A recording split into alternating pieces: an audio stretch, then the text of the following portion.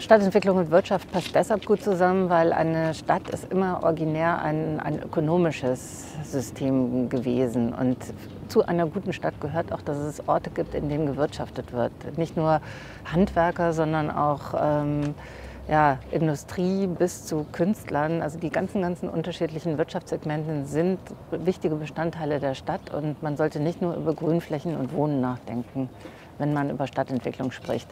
Und manchmal oder viele Jahre in Berlin hatte man immer das Gefühl, dass alles, was mit Wirtschaft zu tun hat, irgendwie im, ähm, im Orbit war oder ganz weit weg oder böser Kapitalismus oder irgendwas in der Art.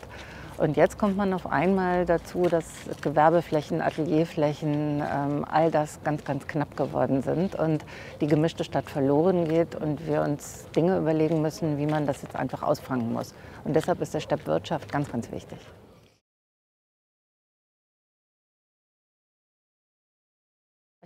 Städtebauliche Strategien sind bestimmt, dass man ähm, zum einen ein sehr, sehr sorgfältiges Flächenmanagement anstreben sollte. Also die Stadt sollte wissen, ähm, welche Flächen sie hat, welche sie noch erwerben kann, ob das vom Bund oder von der Bahn oder von Privaten sind. Ähm, das ist ganz, äh, ganz unwichtig. Wichtig ist, eine, eine Bilanz zu haben, was haben wir und was kann in welcher Weise aktiviert werden.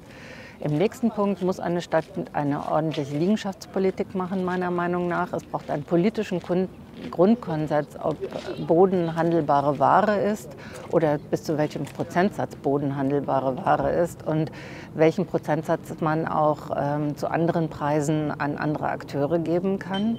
Und das Dritte ist, dass wir uns vielleicht über Dichte und über Mischungen anders unterhalten müssen. Gerade läuft der wunderbare Vortrag ähm, des Kollegen aus London. Er hat in den letzten zehn Minuten ein Feuerwerk abgeschossen von Typen, wie er es nennt, nämlich von integrierten Modellen, wo sogar Industrie und Wohnen miteinander kombiniert wird. Aldi hat jetzt einen neuen Typus von Supermarkt mit Wohnen oben drüber entwickelt.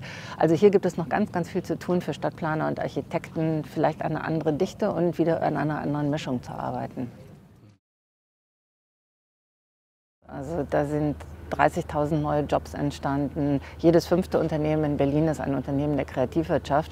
Und diese Unternehmen sind darauf angewiesen, einigermaßen bezahlbare Mieten zu, ähm, ja, zu haben.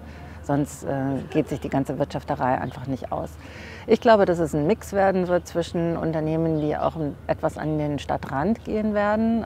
Berlin ist zum Glück polyzentrisch und warum sollte man auch nicht in Schöneweide vielleicht in Zukunft ein fantastisches Atelier oder Büroräume haben, vorausgesetzt die äh, Infrastruktur passt. Also man muss einfach herkommen und die öffentlichen Nahverkehr, Fahrradwege und so weiter müssen an einen solchen Ort führen.